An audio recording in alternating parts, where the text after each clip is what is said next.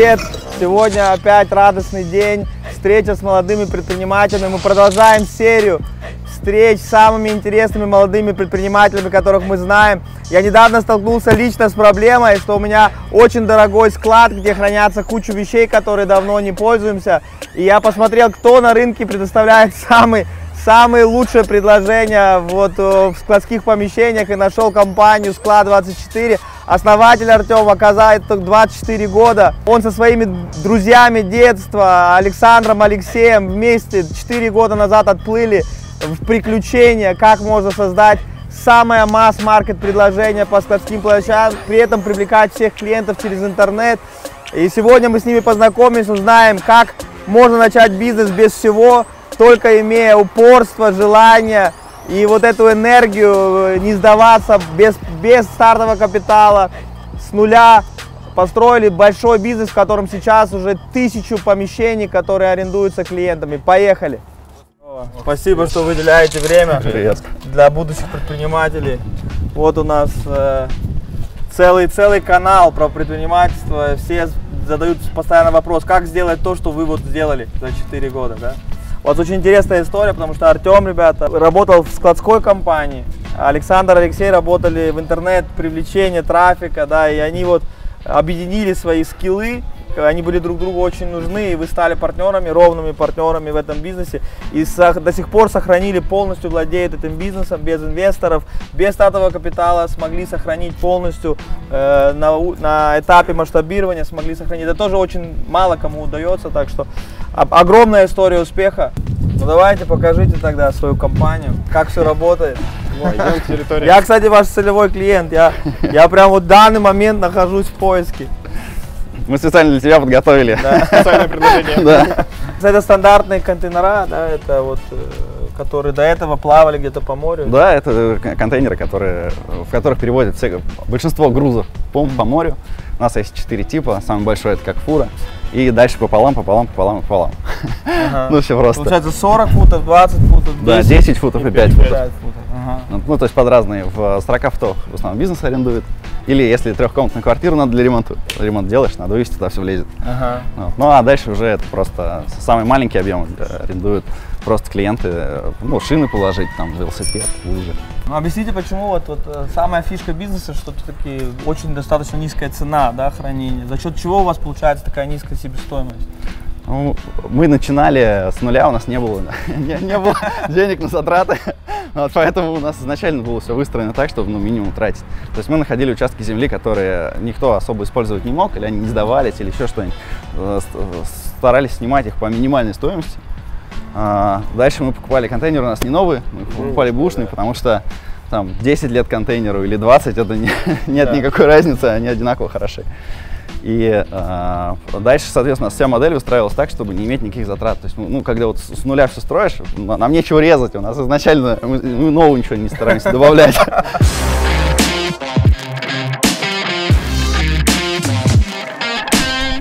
Да, вот 20-футовый контейнер. Это ваш 15 продукт? квадратных метров. Это да. ваш продукт? Да, да. Здесь сколько квадратных метров? 15 квадратных метров. 15 квадратных. Ну вот сюда, э, двухкомнатную квартиру сюда вывести можно легко. Ну это сейчас, конечно, огромный спрос на это, да, потому что у людей есть гигантский тренд, что у людей больше и больше вещей в целом, да, их всех надо где-то хранить, плюс сезоны, зима, лето, вот это все, всем нужны площади. У нас заполненность более 95%. То есть вот на этой территории всего два свободных контейнера, а здесь более 150. А как появилась идея? Потому что я помню вот сам себя, как, каждый раз, когда я приезжал в Америку, особенно в Калифорнии, да, когда ты едешь из Сан-Франциско в Лос-Анджелес, и ты просто смотришь из окна, там просто вот этот self-storage, self-storage, как Макдональдс, да, просто эти self-storage везде. И когда я вот в Америке проводил время, я всегда думал, что это же огромная ниша, которая, потому что если посмотреть Германию или Россию, такого нет, такого бизнеса, как self, были гаражи, да, которые сейчас много много снесли. А, а такого бизнеса, как self-storage, где ты сам можешь привезти, забрать и так далее, особо не было, да? Я как вам пришла идея? Мы занимались трафиком, и, и в какой-то момент стало понятно, что продавать трафик на партнерке рано или поздно станет невыгодно, потому что стоимость привлечения клиента будет все больше и больше. Даже, возможно, он будет, она будет съедать там, всю прибыль от первых там, двух-трех покупок. И мы начали искать какие-то варианты бизнеса, где клиент сидит ну, долгие платежи, где он может э, из месяца в месяц платить. В этот момент, э, соответственно, это наученный там, книжками Киосаки и так далее, а, мы начали искать, что понятно, что недвижимость купить дорого. И мы начали искать варианты, при которых э, не нужно таких огромных там, вложений, да, и ну, при этом такая модель, что человек за, заехал и каждый месяц платит. У нас есть клиенты, которые 4 года с нами. И э, какой-то момент э, мы встретились с Тёмой, он как раз работал в таких этих э, городской компании, и он рассказал о том, что на территориях, в принципе, ну, там стоят контейнеры, бывает там, ну, это просто это не системный, не, не такой неорганизованный бизнес. И мы решили сделать сеть, мы решили сделать там круглосуточную работу, ну, максимально там Uh, сервис, как, ну, это было в, в мыслях с самого начала, да, но смысл был все равно в том Киосаки, ну, в, в киосакиских принципах, да. Но это актив, который производ, производит доход. Да, да, да. Вот. Создает денежный поток. А да. ты это увидел, ты вот увидел, что там, где ты работал, были такие контейнера, были такие и они давали огромную доходность, да? Ты это как-то Не давали огромную доходность, это наоборот услуга была с очень плохим обслуживанием, и мы решили сделать это как хорошую услугу, очень клиент-ориентированную, чтобы люди были довольны. Просто увидели, ну, а что... а, ты, а в чем ты, как ты увидел потенциал, что это очень прибыльно? А мы когда нишу начали тестировать, мы перед тем, как открыли первую площадку, ребята как раз запустили рекламу, и мы многим клиентам отказывали, проверяли, какой на это спрос, вот, в каком месте лучше открыть первую территорию, потому что у нас было, э, не было права на ошибку, нам нужно было стартануть и обязательно выстрелить. И когда мы так получили первых 10 клиентов, мы поняли, где надо открываться, и поставили первые 4 контейнера свои. Я хочу тут добавить, что на самом деле мы зашли в нишу, по сути, аренды коммерческой недвижимости, да. без покупки самих дорогостоящих зданий и так далее. То есть у нас реклама вся идет как коммерческая недвижимость, склады, а не как контейнеры какие-то. Да. Ну, вот. А сам, стоимость без строительного цикла, без девелопмента. Да, без, без этого всего. То есть вложение намного меньше, а ниша такая очень доходная. Я очень часто, когда разговариваю с предпринимателями, была какая-то боль, у вас был какой-то бизнес, да, вы там продавали, покупали трафик, продавали трафик.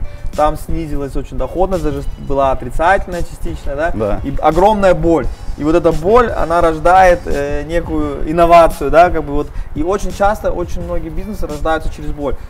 Люди кто-то что-то делают, есть боль, а потом от этого рождается очень хороший бизнес. И вы искали, по сути, э, некий бизнес-модель, у которой длинный жизненный цикл, и где можно за, зайти с небольшими капитальными да, затратами. И здесь есть масштабируемость.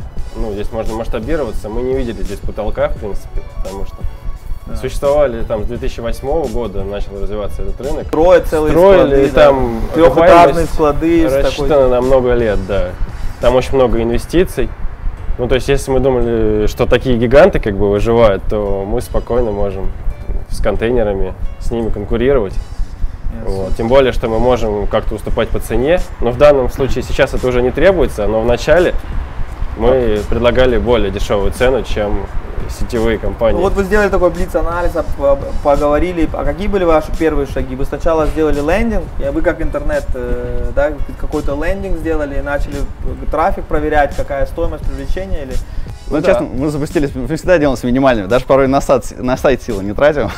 Просто если люди звонят хотя бы с объявления с Авито там, или с каких-то вещей, это уже значит, а, я сейчас отклонюсь, не знаю, да, там, для контента это, мы сейчас думаем о еще одном бизнесе, и мы вот сейчас его прорабатываем. То же самое было с контейнерами. Когда ты отказываешь 30-му клиенту в аренде, когда ты объехал уже десятки территорий, нашел уже самые оптимальные там по всем условиям, которые нужны, самые дешевые, там, там просто нужно собраться и принять решение. А если это начинать, что, ну, надо облегчать, нужно как бы не дальнюю себе, а, ну, где-то в голове иметь дальнюю, а, а делать, я просто сейчас делаю маленький шаг, я просто поеду, посмотрю площадку, я просто размещу объявление, и, ну, если будут звонки, будут. Нет, нет, не вот это завышенное ожидание, от них разочарование. Когда ты просто думаешь, «Ну, я посмотрю. А когда у тебя уже набралось пул клиентов, которые готовы арендовать, когда у тебя там э, все есть, это ну, все понятно, как это сделать, что ну, все работает, просто надо сделать. Длинный путь это сначала создать какой-то продукт, потом это дорого и длинно, да, а потом может быть не продать, а просто продавать и потом действительно, даже если ты 10 клиентов потом отказал, но если ты понял экономику, сколько тебе стоит привлечение, какой спрос, какое, какая ценообразование, это вообще фантастически. Соответственно, вы просто запустили э, объявление плюс какой-то лендинг, там поняли, что есть спрос, и потом начали создавать тот продукт, который продали. Да, именно так. То есть мы сначала пробовали, потом создали продукт.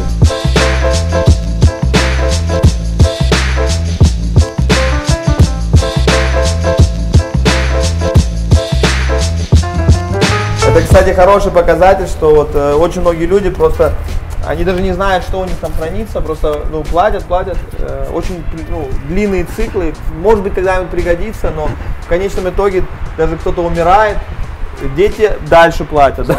У нас в ближайшие 3-5 лет мы хотим сделать 10 тысяч контейнеров в Москве. 10x, Да, сейчас да, тысяч. да. э, Но мы начинали с плана, у нас первый план был на 5 лет 600 контейнеров. И этот план мы сделали там, через 3,5 года. Поэтому, э, ну, это приятно, честно говоря, когда план реализуется быстрее. Вот следующий план у нас на, на 5 лет 10 тысяч. Но я думаю, что, может быть, мы тоже его сделаем за 3,5. Не, ну это, это уже будет такой, это уже достаточно большой бизнес будет. Ну, да? много 10, ты- 10 тысяч контейнеров, это какого размер бизнеса примерно? Но это больше миллиарда рублей выручки ежегодно. С- И при этом доходность на... Выручку. беда где-то 45%. Да. Соответственно, это такой уже, это уже средний, э, средний крупный бизнес, ну, такой средний бизнес. Ну да, да. Причем, причем это, ну, мы мыслим не так, мы, мы мыслим, что это 300 миллионов прибыли в год. А 100 каждому нормально. Да. Круто, круто, не, реально. Сделали первый шаг, э, сделали вот этот, ну, продали, потом, потом искали площадку, первые четыре контейнера, как-то, э, сколько сбросились или кредит, потреб кредит брали, что- как вы это, первые контейнера, Не, мы сбросились, на- нам хватило этого на первые 4 контейнера. это сколько было? Да, и аренда территории. Сколько было 4 контейнера тогда? Ну, на вместе с арендой территории где-то 300 тысяч. мы. 300 тысяч 300 рублей, тысяч, да. это вот вы то, что Да. зарплаты тогда. Да, да, да, да, да, да. И потом- Это были последние вообще деньги, нам после этого вообще, ну, то есть, как бы дальше надо было резко решать, как, ну, чтобы бизнес переносил, потому что на- дальше надо было жить как-то. Я понимаю, бизнес сразу начал приносить какую-то доходность, правильно? Дело в том, что 4 контейнера не могли приносить, поэтому мы э, поняли, что нужно растить, и нужно растить быстро. И первые контейнеры мы сдавали, просто приезжал клиент, мы ему говорили, слушай, все контейнеры заняты, вот здесь место, оплати, пожалуйста, там депозит первые два месяца, если ты на это согласен, мы завтра тебе привезем сюда контейнер, а это уже было там 70% стоимости. Вот. И мы просто брали потребительские кредиты, мы взяли здесь принцип Киосаки о том, что а, ты покупаешь в кредит ну, объект недвижимости, да, и, со- соответственно, платеж по нему должен быть такой, чтобы все затраты плюс платеж по кредиту, там, тело плюс проценты, и чтобы ты еще сверху, тебе что-то оставалось, чтобы ты мог на себя выводить. И, собственно, э, э, очень быстро мы вторую площадку открыли, у нас там через полгода уже было три площадки, и уже ну, мы уже смогли нормально себе ну, вытаскивать деньги на жизнь хотя бы. Да. Ну, вот. ну а потом... И брали кредиты на финансирование новых, правильно? А это, кстати, тоже огромная проблема. Никто, мы приходили к людям, а никто нам не хотел давать деньги, все говорили, как бы, нет, там даже мы там даже поначалу доли предлагали, типа, давай долю. Ну, никто нам не хотел давать деньги, и мы просто применили такую схему, когда ты берешь несколько потребительских кредитов одновременно, ну, потому что денег надо много. Как, сколько ты взял так? Ну, я взял 8 кредитов одновременно в 8 банках. И, ну, ну, мы их там гасили досрочно, то есть ну, потом там параллельно еще появлялись люди, у которых мы Сейчас еще у тебя хорошая деньги. кредитная У история. меня просто, то есть мне кажется, у меня кредитная история такая, что к моим годам невозможно взять столько, если их по одному. И потом вот вы брали, брали кредиты, в какой-то момент вы могли уже покупать новые контейнера из кеша, который приходил Да, от- да, от да. старых. с- Сначала мы как бы наращивали эту базу, ну вот, и э, там через год там мы отдали там первый кредит отдали мы через год, потом там, соответственно, потом мы поняли, что в общем-то мы, у нас есть э, возможность выбора, мы можем прибыль там себе забрать, если ты себе что-то купить хотел, но себя надо вознаграждать, иначе нет мотивации работать, ну вот. А Сколько вы, вы- вы вынимали из компании? За какой период в месяц? Ну, там, да, примерно. Примерно там Ну мы где-то 2 миллиона вынимаем в месяц. в месяц. Вот, вот сейчас, да. Да. А до этого, когда вот первый, первый, когда вы начали. Первое это было вообще на еду. ну, то есть, как бы, ну, честно, ну, ребят, хочу сказать, ну, вот в плане, не знаю, как у вас складывается, у нас первый год был тяжелый. первый год, то есть, ну, ну, реально там где-то еще подрабатывали, чтобы нам на жизнь хватало. Ну, а, а потом, ну, после первого года только нам уже наш бизнес стал нас обеспечивать. И уже к, э, э, так скажем, к довольной жизни э, вот где-то на третий год только пришли. Ну, это очень быстро. Yeah.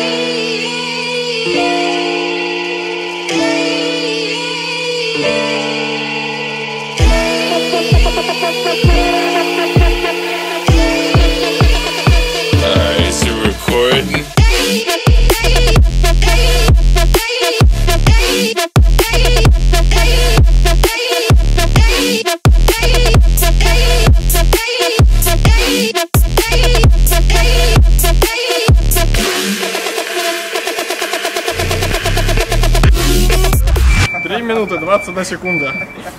Время нашего лучшего грузчика Оскара. За последние там 15 минут столько раз упомянули фамилию Кавасаки, что хочется прям на этом остановиться. Это, видимо, э, книга, которая сыграла огромную роль в вашей жизни, да, вот, э, или принципы. Как вы, э, ну почему это так важно, вот постоянно Кавасаки, Кавасаки? Вообще, наверное, это вопрос более, может, я чуть-чуть расширю про учителей. Да. Дело в том, что очень э, порой в жизни, ну, те, кто, те, кто доступны, может быть, их не очень воспринимаешь как учителей. Ну, или так, как говорится, нет права к своему отечеству и так далее. А тех, кого ты бы хотел иметь в учителях, они тебе недоступны. Да и, в принципе, э, если бы там, мы сейчас приехали к Киосаки, но уделил бы он нам час. Смог, ли, смог бы ли он донести за этот час там весь свой опыт, весь, весь свой... Все-таки, ну, мне кажется, бизнес, так же, как и там мастер, у него всегда есть подмастерье, всегда есть учитель, ты, ты смотришь на него и принимаешь опыт. И э, самый доступный, мне кажется, способ это книги. То есть человек потратил кучу времени, излагая в книгах свой опыт. Он написал, ну, он реально, он никогда в жизни на тебя столько времени потратит, как он потратит на книгу. Действительно полезная информация и действительно изложено то, что тебе и требуется. Кажется, что никто не откроет секрет. Но на самом деле открывают действительно конечно, на все. бумаге. Возвращаясь к Киосаки, э, я заболел и две недели лежал. Я за две недели прочел все его книги. И, честно говоря, это очень помогает выстроить стратегию. Он, человек просто поделился своим опытом, он сказал свою историю, как, что ему было тяжело, как он, потому что он свою жизненную историю разбил, на самом деле, по кусочку в разных книгах. Он не говорит об одной вещи очень важной, о том, что если вы приобрели недвижимость, вам еще нужна компания, которой управляешь. Покупаешь целую квартиру, получаешь столько же, как ваш один контейнер, да? Да, Хотя, он сто- да. хотя стоит в 30 раз больше. А проблем еще больше, потому что тебе звонят, то стенка стучит, то То кран Э, потек. Да, и тогда и, и, и 78 других вариаций проблем. Э, Я на самом деле, когда купил первый, первую свою недвижимость, я сначала злился, потому что так много проблем было. А потом я начал кайфовать от этого, потому что я за 5 лет насчитал 100 разновидностей проблем, которые могут быть. И в этот момент я принял решение создать тоже управляющую компанию актива. Теперь у меня тоже управляющая компания, которая... и это, тогда это становится пассивным доходом, да, а иначе абсолютно без шансов. Я не совсем отметаю там принципы, да, как бы вот э, э, у нас земля, которую мы арендуем, в совокупности в год э, мы за аренду там платим, наверное, больше 30 миллионов. Нехитро посчитать, что за 10 лет, с учетом увеличения стоимости, там больше 300 миллионов. То есть, если бы мы могли взять ипотеку и выкупать просто эти земли, то, соответственно, это ну, в итоге, если процент был такой, что мы могли бы себе это позволить, то э, у нас бы это просто росло как актив, а так это просто расход. Ребята, вот вы еще на самом начале пути, только 4 года такого хардкор предпринимательства, но тем не менее, э, какие ваши главные советы, какие ошибки можно избегать, что вот каждый из вас самый главный вот такой вывод за 4 года предпринимательства? Не зацикливать все полностью на себе, потому что в один момент ты сдуваешься, тебе это все надоедает, хочется отдохнуть, хочется на месяц куда-нибудь улететь. Поэтому, если такое наступает, надо улетать, надо, надо найти людей, которым делегировать какую-то рутинную работу и не бояться, что они сделают хуже, хотя все время такие страхи существуют. Пусть они сделают хуже, но они сделают, и потом научатся, ничего страшного, а ты будешь свободен и можешь дальше спокойно мечтать и развивать дальше свой бизнес. Потому что очень важно, чтобы эмоционально ты себя чувствовал заряженным. Конечно. Ну, лично я, иногда у меня бывало такое, что да ну, уже все надоело, Все- любой бизнес приедается со временем, становится вот не очень интересно. Но в этот момент поддерживают э, партнеры, то, что я не один, и они могут быть на подъеме, у них новые идеи, они нет, вот там, давайте дальше двигаться. Ну, либо мы просто с другом уезжаем куда-то в отпуск, и после этого у нас с новыми силами, с новыми идеями продолжаем. Я добавлю еще про неизбежность, потому что, ребят, на 4 года не хватит никакой мотивации. Только создавать для себя ситуацию неизбежности. То есть сначала все просчитывать, готовить. Вот часто страх того, что не знаешь как. Ну, начни делать по одному шагу. Хоть как-то, ну сегодня. Вот, а сегодня маленький, завтра маленький. Когда у тебя накопится критическая масса, на самом деле ты будешь готов легко принять решение э, начать бизнес. Но потом, чтобы удержаться, не хватит никакой мотивации на 4 года. Нужно создавать все условия. Там, там, возьмите кредит. Очень, очень хорошие условия. Землю в аренду взял, уже обязательство. Сотрудника нанял, уже обязательство. Нужно создавать так, чтобы в какой-то момент ты не мог слиться. Команда это тоже, кстати, обязательство. Если ты с ребятами договорился, ты не можешь их предать. И э, то- мне кажется, что в долгую можно делать только в ситуации неизбежности, когда у тебя нет варианта слиться, когда у тебя нет мо- мост сожжен. Да, очень круто. Ну, спасибо, ребята. Спасибо огромное. Спасибо, Оскар. Вы большие молодцы, настоящий пример. Так что полный вперед, 10 тысяч контейнеров и спорткары, чтобы у вас все было. Встретимся еще раз через сколько лет? Год. Да, через год. Да. 10 тысяч. 10 тысяч. 10 тысяч. Ну все, все секреты, как начинать с нуля, раскрыты. Дальше действовать будете вы. Мы поехали работать. Пока-пока.